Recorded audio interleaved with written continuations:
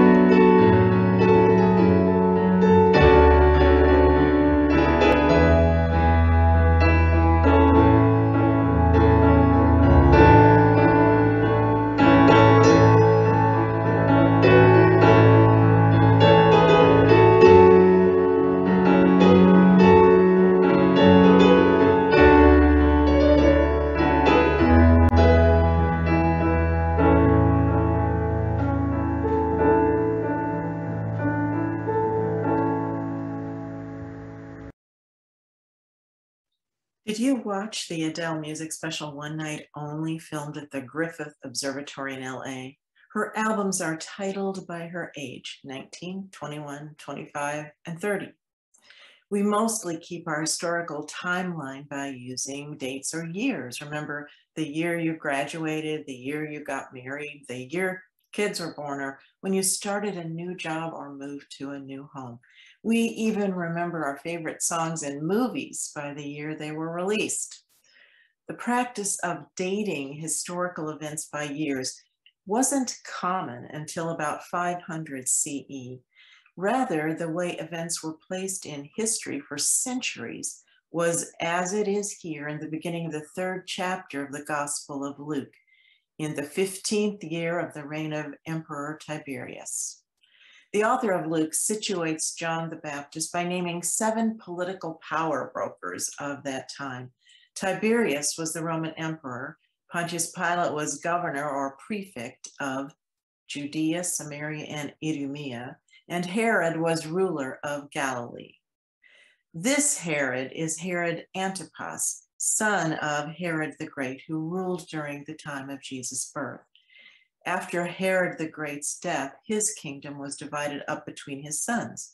So Herod Antipas ruled Galilee, his brother Philip Iturea, and Trachonitis to the north and east. The list ends with the high priests Annas and his son in law Caiaphas.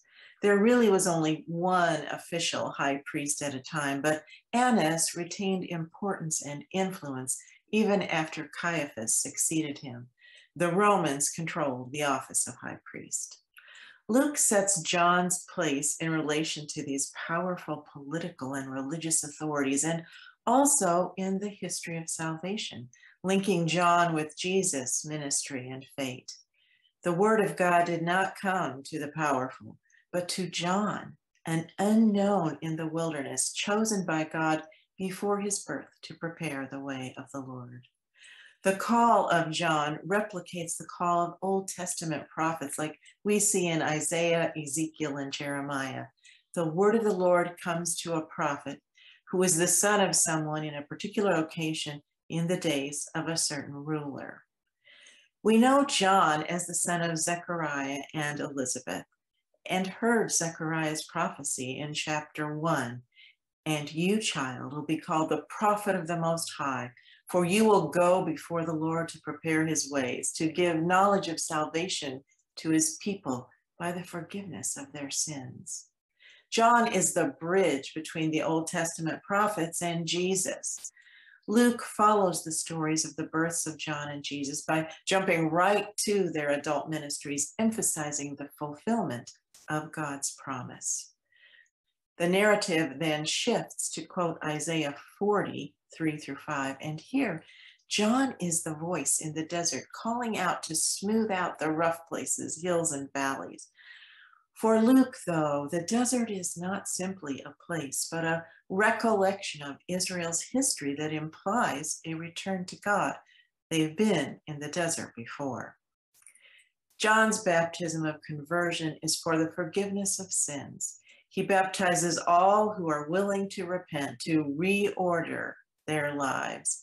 The Greek word for conversion, metanoia, is translated as changing one's mind or outlook. It's an inner transformation that bears fruit, which shows up in changed behavior. John's baptism isn't that once in a lifetime event, but is a fresh start at a daily effort to live in the grace of Christ. So we've just a few weeks left until Christmas. How is your preparation going? Would a change of mind or outlook help? Are there places in your life right now that could use some smoothing over, some rough places that could use some reconstruction? Reverend Dr. Elmer Colyer at the University of Dubuque Theological Seminary says it's important to have some margin in our lives, a cushion of time, space, and energy, so we can adapt when things come up. It's important to have time to relax and be renewed, to redeem our daily routines. Maybe you're in a place right now with little or no margin. Sometimes the Christmas season causes it, but so can things like the increasing demands of endless tasks at work with no end in sight, the physical efforts needed to care for a parent or other loved one day after day, or worries over a child who is in a difficult place and needs our help. Maybe our margin is reduced because of illness, financial struggles, or difficult relationships, or because of the pandemic, and maybe because of several of these.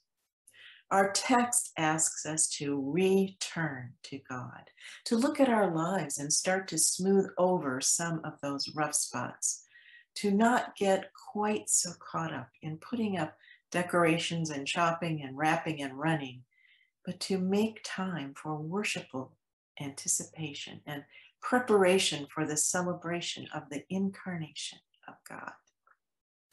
Instead of focusing on everything on our to do list, or on money or lack of money or on finding something to blame for our troubles, can we look inward and work to change our own habits, to become the more loving and generous people God calls us to be?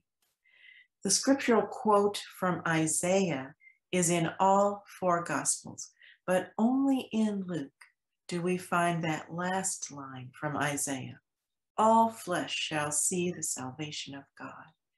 And in Luke, salvation is more than eternal life, it is bigger.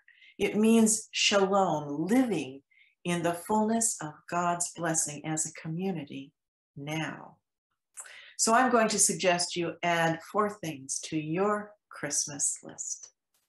One, set aside a little time each day to meet with God in prayer. Every day, pray, Dear God, please open my eyes, my ears, my heart, my mind, and make me ready for the coming of Jesus. And then listen for the whisper of the Holy Spirit during your day, urging you to do good things. Maybe you'll meet God baking cookies for a neighbor or telephoning someone who's lonely. Maybe you'll feel God's presence in line at the grocery store when the person in front of you doesn't have enough money. And don't be surprised if it's something you don't ordinarily do. Two, spend time with God's Word. Read the Christmas story or a daily devotional, or start reading all the way through the New Testament or the Bible. Three, say no. Sometimes we have to say no to really good things things we may want to do and feel like we need to do because we won't have time for the best things if we don't develop the ability to also say no to some things. And four, spend some time working on those things you need to smooth out in your life. Take time out for those important relationships. Give yourself permission to take a break from caregiving for a few hours Take care of yourself so you can do what's needed. At work, can you take time to put tasks in perspective, prioritize, delegate, and make a plan for handling things? What parts of your daily routine and tasks can you simplify for right now? Set aside time with God in prayer and scripture. Learn to say no and spend some time smoothing out your daily life. I truly believe that adding these things will actually help you handle the rest. Getting just a little margin back can help us be spiritually renewed as we give thanks to God for life's blessings. It's almost the end of 2021. Christmas is coming. Christ is coming. The prophet is still calling us to change our ways and draw closer to God, to prepare for the advent, the coming of God into our world. I pray for all of us that we can take a breath, slow down, and through our spiritual preparation, experience Christ coming once again into our lives in peace, hope, love, and joy. Amen. At this time, we prepare to celebrate Holy Communion. So it would be good if you could have a piece of bread, a roll or cracker, and some juice or water. Or please join us in spirit. We celebrate an open table. Christ our Lord invites to his table all who love him, who earnestly repent of their sin and seek to live in peace with one another. Therefore, let us confess our sin before God and one another. God of compassion, we are not nearly ready to welcome you. Our preparations are late and inadequate. Our hearts are distracted by worries, hopes, and material clutter. We are a disorderly people. We do not yet love justice and mercy. We do not yet seek peace. So we cannot walk as friends with you. We are sinners. Come to us, O holy and tender one, to forgive us and save us.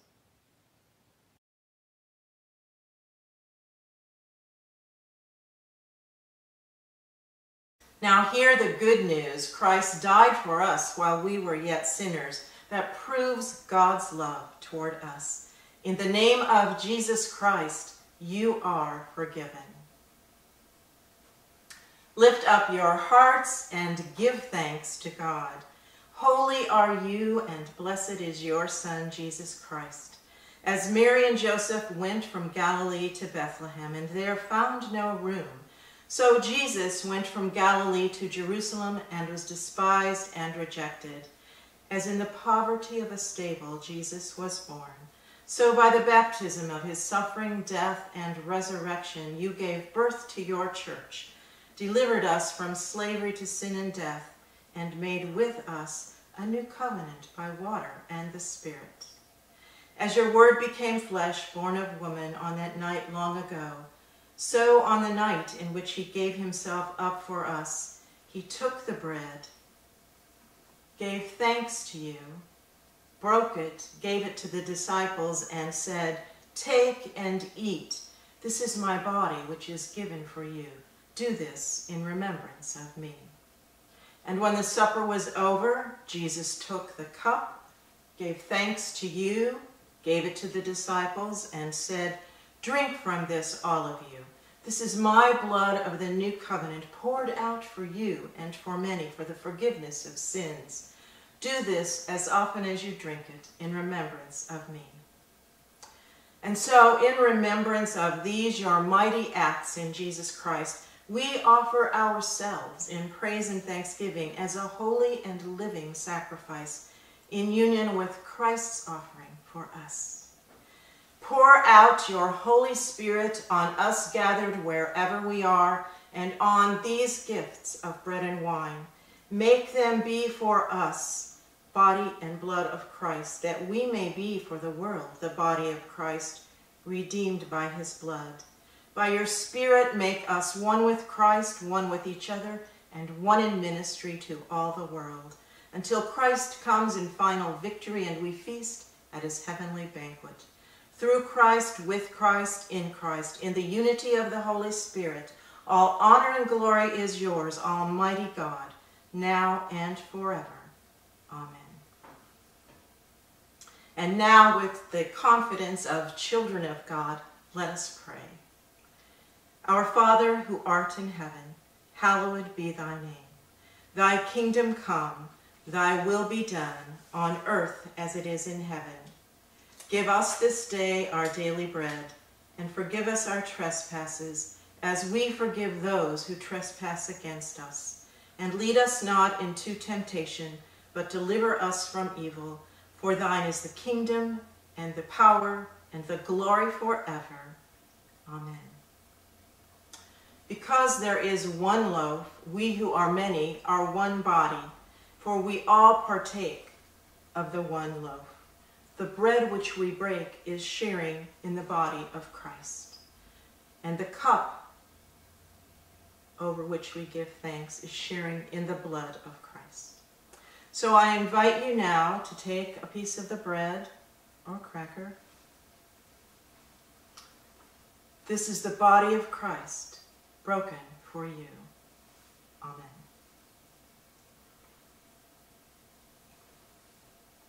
And then the juice. This is the blood of Christ given for you. Amen.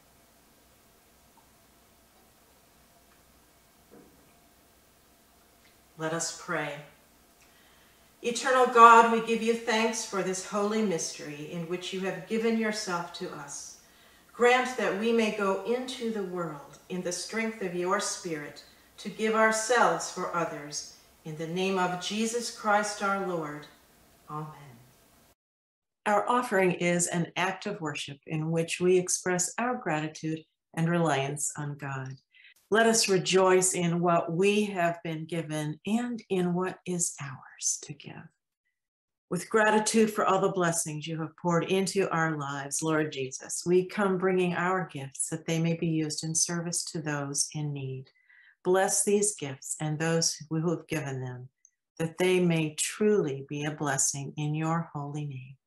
Amen.